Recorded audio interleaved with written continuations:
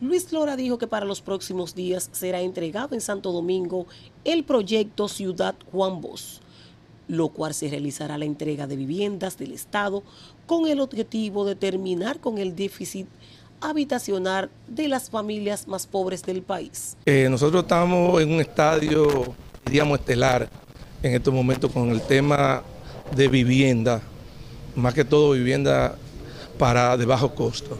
Como nunca antes en el país, eh, nosotros tenemos la voluntad política de que se resuelva el déficit habitacional. Ustedes saben también que en Santiago ya tenemos licitada la primera unidad que va a arrancar de las 10.000 viviendas del proyecto Ciudad Juan Bó en Acto del Yaque.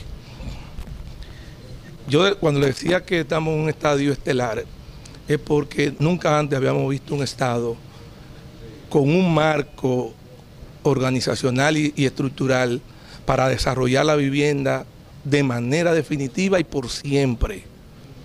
Oigan esto que le estoy diciendo, por siempre. ¿Por qué digo esto? Porque eh, se está desarrollando una serie, se va a desarrollar una serie de iniciativas que he de imaginarme que el señor presidente la hará próximamente para regular incentivar, promover y organizar el sector construcción de vivienda. Que el proyecto, al igual que en Santo Domingo, constará con todo lo necesario para que las familias que lo habiten puedan subsistir sin tener que salir fuera de la zona. Noticias 55, Marisela Gutiérrez.